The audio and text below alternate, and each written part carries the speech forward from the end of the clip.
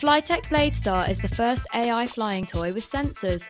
Changing helicopter flight as we know it, two BladeStars can even perform a dogfight in the air.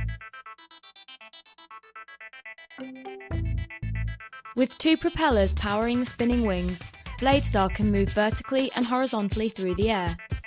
BladeStar can guide itself using onboard navigation or be remote controlled.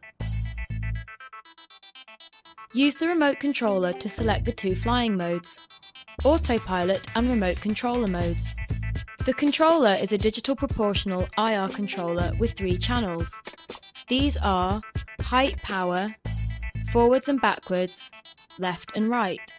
There is a power and mode LED indicator on the remote controller. BladeStar recharges directly from the remote controller. It takes about 15 minutes to charge and will fly for up to 5 minutes.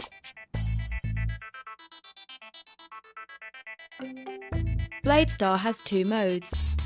In autopilot mode, you can use the force to guide BladeStar with just your hands, or let BladeStar glide itself through the air using onboard navigation. Take over with RC mode, designed to always be relative to you, so left is always left and right is always right. You don't need to worry about where BladeStar is in relation to you. Dogfight 2 BladeStars. Align the two and see who can press the fire button on the remote controller first. An IR signal will be emitted that will ground your opponent.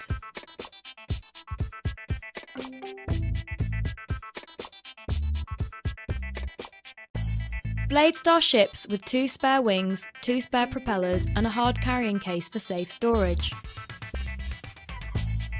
With onboard navigation and unique winged motion, Blade Star changes the helicopter flight category as we know it.